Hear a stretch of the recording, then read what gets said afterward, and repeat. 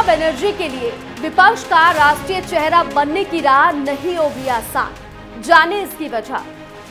किसी ने सच कहा है कि सियासत इस कदर आवाम पर एहसान करती है कि पहले आँखें छीन लेती है, फिर चश्मे दान करती है और ये चंद लाइनें सटीक बैठती है बंगाल में हुए सियासी घमासान पर।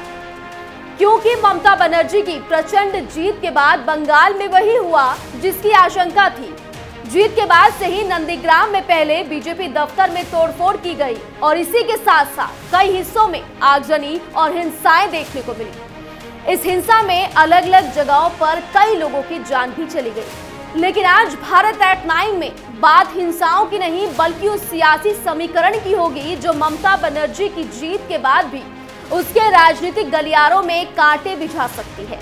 नमस्कार, मैं हूँ काजोल नारायण और आप देख रहे हैं भारत एट नाइन। पश्चिम बंगाल की जीत में बेशक ममता डबल शतक पार कर गई हो, लेकिन विपक्ष का राष्ट्रीय चेहरा बनने की राह उसके लिए आसान नहीं होगी, क्योंकि तीन से अठहत्तर खेल दीदी के रास्ते का रोड़ा बन सकता है। पहले रिपोर्ट देखिए, फिर चुनावी समीकरण का पूरा गठजोड़ आपको समझाते हैं। पश्चिम बंगाल के चुनावी महासफर में तो ममता दीदी ने डबल सेंचुरी पार कर ली। लेकिन 2024 लोकसभा चुनाव में दिल्ली के रास्तों की जो मैपिंग ममता दीदी ने तैयार की, वो उसके लिए इतनी भी आसान नहीं है।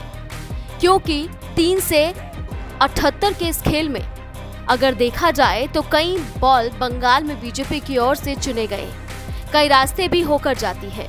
बीजेपी की सबसे बड़ी शूरवीर चुनावी जोड़ी को बड़े अंतर से मात देकर ममता बनर्जी बेशक विपक्ष की एक प्रभावशाली और ताकतवर नेता के रूप में उभर कर सामने आई हो। लेकिन राष्ट्रीय स्तर पर विपक्षी नेतृत्व की कमान थामने की उनकी राह आसान नहीं है। लगातार चुनावी नाकामियों के बीच राष्ट्रीय स्तर पर बीजेपी को रोकने के लिए विपक्षी गोलाबंदी की पैरोकारी करती रही। तो ऐसे में कांग्रेस खुद दीदी की दिल्ली की राह रोकने में कसर नहीं छोड़ेगी। वहीं कुछ इलाकों के बड़े नेताओं की ममता के नेतृत्व की रहनुमाई को सादगी से स्वीकार करने की हिचक भी इसमें अड़चन बनेगी। क्योंकि बंगाल में जो हुआ वो भी किसी से छिपा नहीं। वो हमें हतप्रभ करती हैं चिंता में डालती हैं क्योंकि शायद ऐसी घटनाएँ भारत के विभाजन के समय मैंने सुना था। लेकिन उस आज़ाद भारत में अब चुनाव के नतीजों के पश्चात इतनी असहिष्णुता इनटॉलरेंस हमने आज दिन तक नहीं देखा है। कार्यकर्ताओं पर जो प्रहार हो रहा है उसको व्यक्तिगत रूप से देखने के लिए और उन कार्यकर्ताओं के साथ इस विपत्ति काल में खड़े होकर के प्रजातांत्रिक तरीके से इस लड़ाई को लड़ने के लिए भारतीय जनता पार्टी कृत संकल्प है।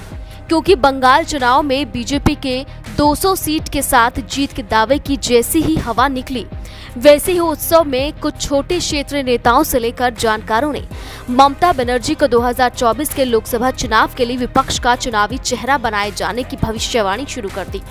लेकिन चुनाव नतीजों के उत्साह में शुरू हुई ऐसी भविष्यवाणियों से तर। राष्ट्रीय स्तर पर विपक्षी विकल्प और उसका एक विशेष चेहरा बनने का सियासी समीकरण इतना भी आसान नहीं है। इसमें सबसे बड़ी अड़चन तो कांग्रेस की ओर से ही लगाई जाएगी, क्योंकि ममता बनर्जी विपक्षी दलों को एकजुट करने के लिए आगे बढ़ती हैं तो ये कांग्रेस के नेतृत्व के लिए सीधी चुनौती होगी। कांग्रेस विपक्षी नेतृत्व की कमान किसी सूरत में अपने हाथ से निकलने नहीं देना चाहेगी, क्योंकि ऐसा हुआ तो पार्टी की सियासी ज़मीन और कम पड़ जाएगी। राज्यों में लगातार हो रही हार के बावजूद कांग्रेस का राष्ट्रीय स्तर पर बचा स्वरूप और संगठनात्मक ढांचा ही, उसके सियासी गठजोड़ को बचाए हुए है। ऐसे में ज़ाहिर है, जब विपक्षी नेतृत्व की कमान कांग्रेस के हाथ से निकल जाएगी, तब पार्टी के लिए अपनी बची कुची सियासी ज़मीन बचाना भी मुश्किल होगा। कांग्रेस इस हकीकत से वाकिफ है और इसलिए राष्ट्रीय स्तर पर विपक्षी सियासत में दीदी की पूरी भूमिका की तरफदारी करने के बावजूद, पार्टी यही प्रयास करेगी कि विपक्षी राजनीति की कमान किसी क्षेत्रीय दल के नेता के हाथ में न चली जाए। Bureau report, news for India. तो ममता दीदी के सर पर ताज ज़रूर सज गया, लेकिन राह आसान नहीं है, क्योंकि ममता बनर्जी के राष्ट्रीय कांग्रेस पार्टी प्रमुख शरद पवार से बेहतर रिश्तों को देखते हुए। इस बात की चर्चाएँ भी शुरू हो गई हैं कि ये दोनों कुछ और बड़े क्षेत्रीय दलों के नेताओं के साथ मिलकर, राष्ट्रीय स्तर पर विपक्षी राजनीति की कमान गैर कांग्रेसी दलों के हाथ में सौंपने का कांग्रेस नेतृत्व पर दबाव बना सकते हैं। लेकिन राज्य में क्षेत्रीय दलों की अपनी राजनीतिक सीमाएँ और जरूरतों को देखते हुए ये इतना भी आसान नज़र नहीं आता। पवार के मामले में ही देखा जाए तो उनकी संबंधता महाराष्ट्र की राजनीति में अपनी जगह बनाए रखने की है। कांग्रेस के साथ उनका बीते दो दशक से जारी गठबंधन इसमें सबसे अहम है। स्वाभाविक रूप से पवार एक समय से ज़्यादा कांग्रेस को दरकिनार कर ममता के लिए महाराष्ट्र में अपनी सियासत को दाव पर लगा देंगे। इसकी संभावना कम ही है। ऐसा तमिलनाडु में देखने को मिल सकता है क्योंकि द्रुमुख नेता स्टालिन और झारखंड मुक्ति मोर्चा नेता हेमंत सोरेन दीदी से सहानुभूति रखने के बावजूद कांग्रेस की अनदेखी नहीं कर सकते। हेमंत कांग्रेस के साथ गठबंधन सरकार चला रहे हैं तो पहली बार मुख्यमंत्री बनने जा रहे स्टालिन को भी कांग्रेस के समर्थन की ज़रूरत है। इसी तरह दीदी का मज़बूत नैतिक समर्थन करती रही राजद भी बिहार की अपनी सियासत को पहली प्राथमिकता देगी।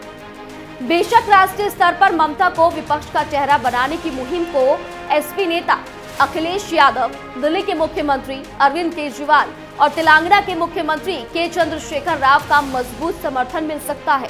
वो इसलिए कि इन सभी नेताओं के, दीदी के साथ अच्छे संबंध है। साथ ही अपने अपने सूबों में कांग्रेस इनकी सियासत को किसी तरह प्रभावित नहीं करती। हालाँकि इसमें कोई शक नहीं है कि राष्ट्रीय स्तर पर विपक्षी नेता की कमान मिले, चाहे ना लेकिन ममता पूरे विपक्ष को एकजुट करने की अपने प्रयासों को कई गुना तेज करेंगी। दीदी को बंगाल चुनाव के दौरान बीजेपी के ऊँचे नेतृत्व के साथ केंद्रीय एजेंसियों के ताबड़तोड़ हमलों का जिस तरह सामना करना पड़ा है, उसे देखते हुए वे इसमें कोई गुंजाइश छोड़ेंगी, इसकी संभावना कभी नहीं की जा सकती। तो सत्ता के गलियारों में सियासत की चमक भले ही ज़्यादा दिखे, लेकिन उसके पीछे की जो कहानी होती है, वो बड़ी दिलचस्प होती है। और शायद बंगाल की सियासी कहानी भी कुछ यही कहती है। आज भारत एट नाइन में बस इतना ही, कल फिर होंगे हाजिर किसी नए मुद्दे के साथ। तब तक के लिए दीजिए मुझे इजाज़त। नमस्कार।